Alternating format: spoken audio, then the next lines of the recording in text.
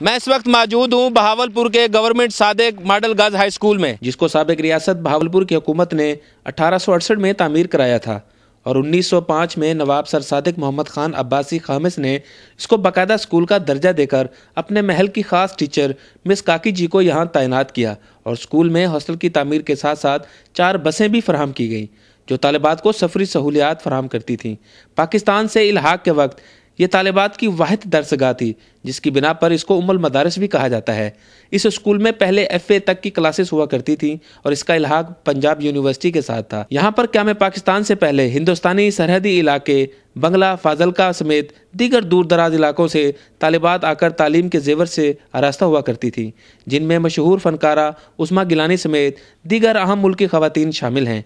1973 की तूफ़ानी बारिशों में इसकी बिल्डिंग का बेशतर हिस्सा मुनहदम हो गया था।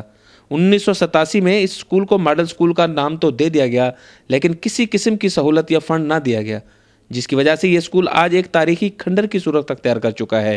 क्लासरूम ना होने की वजह से तालिबात खुले आसमान तले तालीम हासिल करने पर मजबूर हैं। शहर के वस्त में मौजूद ये तारीखी स्कूल आज भी हुक्मरानों की बेबसी पर मातम करता नज़र आ रहा है। कैमरामैन अली रजा के साथ मलिकथर फारूक अवान, दुनिया न्यूज़, बहावलपुर।